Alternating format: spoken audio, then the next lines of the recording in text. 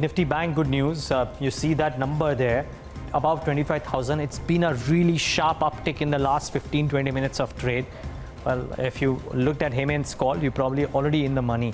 Similarly for the Nifty as well, about 14 odd points higher. Good going there. The mid caps and the small caps, remember at about 2 230, they were starting to trade flat. Now, uh, the Nifty 500 and the Nifty Mid Cap Index in particular up about half a percent, so good going. Let's look at individual components uh, within the indices and see what's moving and what's not. So some gains to Infosys uh, and predominantly it's the IT names. So Infosys is in the green.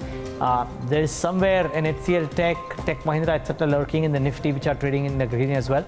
And the Tamo twins, so Tata Motors and Tata Motors DVR are right up there, are doing well. Now just bring the screen to the bottom and you will see Coal India as being one source spot, Asian Paints being one source spot and Maruti marginally off in trade.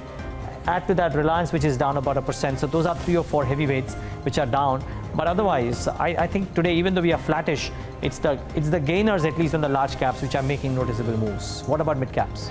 Niraj, whatever happens to the benchmarks or the large cap stocks, every day you're seeing some strong moves coming about in the broader markets. At least stock specific moves is what we're talking about. Pull up Weizmann Forex, that counter was locked in upper circuit with gains of 20%. And as you can see, the stock has closed almost at day's high. Obviously, it was locked in upper circuit, but the move actually came about in the last hour of trade. Canterville Retail uh, was strong right from the word go in the morning session, as the chart will show you. That too was locked in upper circuit with gains of 20%. Inox Wind also gained just in that last hour of trade as the intraday chart will suggest that that counter was also strong. And you also had stock like DigJam. Now this is one counter which has been active and not today actually throughout the last week it was up and about. So up 11% in today's uh, session. Uh, Setco Automotive, uh, they came out with their second quarter numbers. We also interacted with the management, very confident of achieving 14 to 15% top line growth for FY18, up 13.5%. And some profit booking seen for stocks like Automotive Axles. Remember, this was another company which came out with good set of numbers. So that counter was down. VIP clothing was also down today. That saw cuts of as much as 6 to 7%, closed at day's low. Second straight day of losses for Escorts. Mindtree was pretty strong from the IT space. So that counter was up over 3%. And from the FMCG pack, you had Procter & Gamble. That counter was very, very strong in today's trade. And IGL and Fortis Healthcare are two other strong, which I want to, two other stocks which were strong today. IGL up almost 5%. And you also had Fortis Healthcare, which has been going up, Niraj, in the last two to three sessions. Well, so that's a complete summation of what's really happening, all that you needed to know about the trade today. Namni just told you that. I just bringing up the wrap to this and look at the contributors. Uh, it's no surprise that Infosys is leading the pack up by 13 odd points. HDFC, the big boy, not a big move by HDFC, but because it's a heavyweight, it's contributing a little bit. There's some strength in HUL and HCL Technologies too uh, coming in out there, about 2.5% odd in the green. So good going really for these names. On the losing side, HDFC Bank, Reliance is down uh, about a percent and that is contributing. And the noticeable name out here is Maruti, which is down about three and I'm um, contributing to about four points to the Nifty fall. But all in all, even Stevens, uh, more gainers um, than losers though. Six odd points that we are seeing in this uh, in, in, in this Monday morning's trade. The market breadth, while adverse, you'd probably still count the close as a good one because we recovered a little bit of lost ground from the lows, so which is actually not a bad sign, even though this picture shows that the market breadth worsened uh, considerably.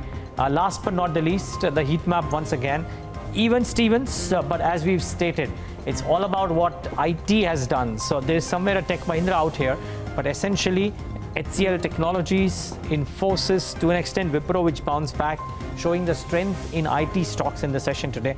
And amongst the losers, some banks are down in trade, and um, ITC marginally soft in trade, but HDFC Bank being the principal culprit, and Reliance somewhere down about a percent, and this one too looking slightly wobbly in trade today. But aside of that, um, it's probably not that bad a day.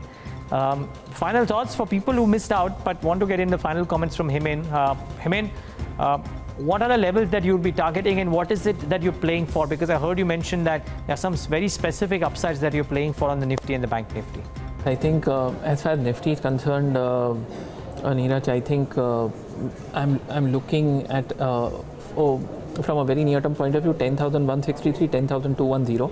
I think 10,210 is what one can expect uh, either tomorrow or maximum day after. And in, and as far as the bank nifty is concerned, uh, it, it was a surprisingly weak spot, but I would look at something in the range of uh, 21,200 or more. So it's small bounce, which was uh, in the in the reckoning, and I think we're seeing that coming. Hmm. Nipun, closing thoughts from you. Any themes that you're bullish on?